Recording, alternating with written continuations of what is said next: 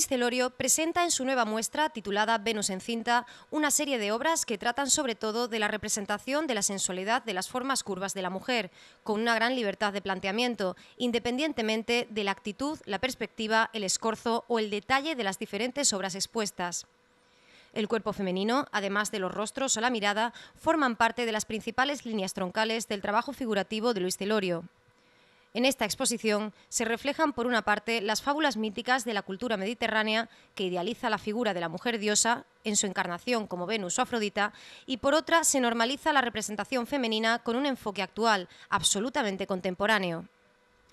La diosa nacida directamente mujer adulta o la mujer como diosa madre, embarazada y humanizada por tanto y formando parte de una dualidad recíproca de divinidad y naturaleza, es representada indistintamente. Desde el pubis a la cadera o desde los muslos a los hombros, el autor hace un recorrido que podríamos denominar geográfico, como si de una aventura de exploración de un mundo nuevo se tratara. Bueno, esto es un cambio de la última exposición que hice en Córdoba y se basa todo en dibujo, en la técnica de dibujo mm, de tinta china con, con témpera blanca, tinta china negra. Luego la temática es solamente el cuerpo de la mujer. Básicamente es una excusa para recrear una serie de trabajos y, tocar por encima diferentes actitudes y en alguna medida pues también pues recreo un poco los mitos mediterráneos de, eh, Venus y también la, mujer idealizada, pero también por otra parte la, la mujer de hoy, la mujer moderna. ¿no? Bueno, después de, una serie de trabajos, eh, yo siempre tengo un poco de dificultad en los títulos porque quiero que redondeen la obra o en alguna medida acompañen y, que haya varias lecturas. El título sea algo más, como a veces la forma de montar los dibujos o, en series o en, conjunto. ¿no? Entonces, eh, más bien fui buscando los autores que tuvieran que ver con lo que yo hacía.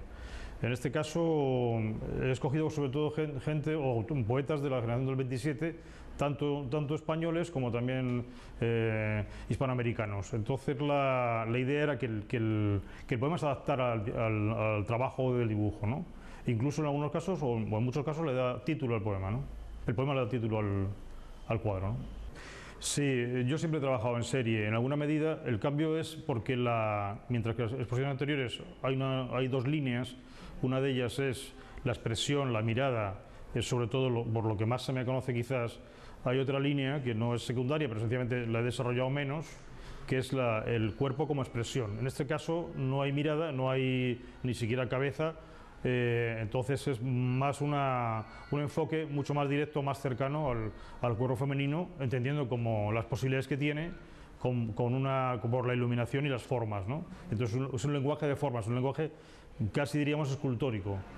Bueno, en, lo que es la pintura figurativa, el, cuerpo como tal forma parte de la, enseñanza del, pintor en su, cuando estudia en un centro académico, es decir, el, desnudo forma parte eh, del conocimiento de la, pintura. El cuerpo humano, igual que el retrato, ha sido básico en otra dimensión para entender la, expresión. Entonces, en este caso, es cierto que, mm, no se ven muchas exposiciones de desnudo, cuando realmente debería ser bastante común, pero no de ahora mismo, ni, por cuestiones, digamos, de, pudor o de censura, sino porque desde, desde hace varios siglos el, cuerpo como tal es un, es un, modelo a seguir en cuanto a la pintura y dibujo figurativo. ¿no?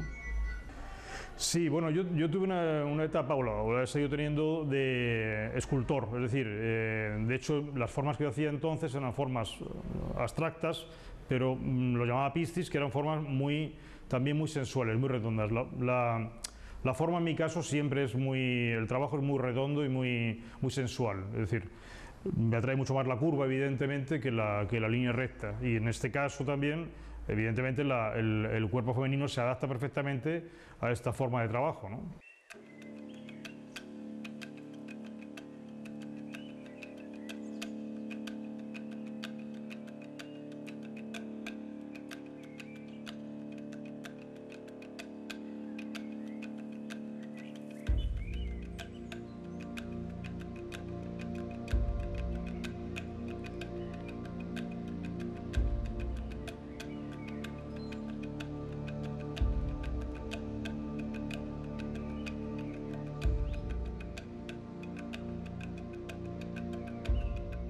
Bueno, las anteriores exposiciones se han basado en el óleo, claro, evidentemente eh, la capacidad del óleo en, cuanto a las gamas y a la, veladura es muy alta, ¿no?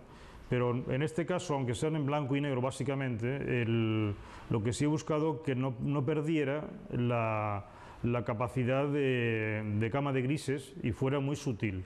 Eh, la técnica empleada en, lo general eh, va por veladuras de tinta china con, con témpera aguada y son capas diferentes de lavado, de rascado, de vuelta a poner hasta que consigues que esa forma, ese, ese volumen tenga la, la, luz y la consistencia suficiente para, para ser apto como dibujo.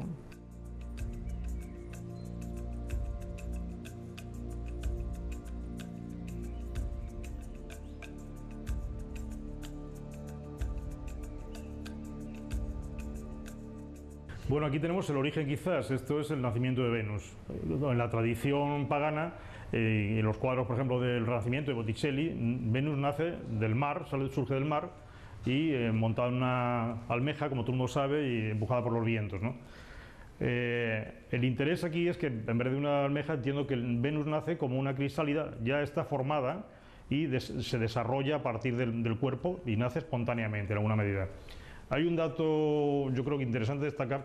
Venus representa en alguna medida, siendo un mito pagano, la mujer eh, de poder, la, diosa Venus, pero además una mujer libre, mm, con, eh, en contrapunto con, el, concepto cristiano de Eva, que es la mujer que, tiene vergüenza de su cuerpo y nace y tiene eh, la carga del pecado. ¿no? Entonces Venus es la mujer libre, la mujer que podría identificarse en alguna medida con la mujer contemporánea de hoy. ¿no?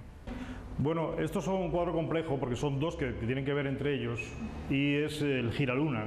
¿no? Se trata de hacer las fases de la luna con el cuerpo de la mujer. Entonces eh, va desde la luna eh, llena, con sus cuatro fases, de cuartos menguantes, crecientes, etcétera, a la luna nueva, con las mismas situaciones. Como veréis, eh, cambia la dirección de la luz, igual que cambia la luna.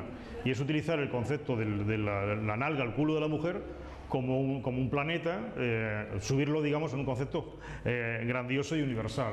En este caso estamos ante lo que llamamos ecuménicas, que es, viene de un poema de Fernando Quiñones, que dice en la parte esta, redondas ancas ecuménicas, es decir, eleva el, concepto del, culo de la mujer a un, nivel también de orbe, eh, que es como el mundo. ¿no? Entonces, la excusa ha sido hacer unos giros similares a la giraluna, pero en unas perspectivas diferentes, acercándome, entrando en laterales, donde el, culo forma parte del primer plano siempre de, lo que vemos.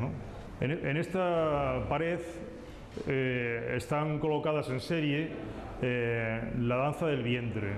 La danza del vientre que no es la danza oriental que todos conocemos, sino que es la danza de la embarazada en alguna medida y también recreamos es ese juego eh, que puede hacer el cuerpo de la mujer embarazada, que aparentemente puede ser más menos bonito que, una mujer que no esté encinta y sin embargo destacamos o destaco aquí la capacidad y la, fuerza del volumen y la expresión que tiene ese cuerpo. ¿no? Bueno, esta es una serie eh, que se llama Todo es curva y exalta efectivamente la, sensualidad de la curva de la mujer mediterránea.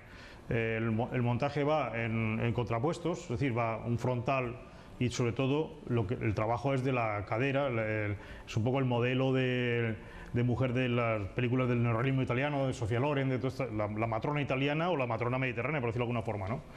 Y la se querido montar de esta forma, que en algunos casos está muy exagerado esa, que es también la mujer española clásica, el cuerpo de ánfora, ¿no? de ánfora romana, que tiene una cadera amplia y, siempre con mucho, mucho más pegado el cuerpo.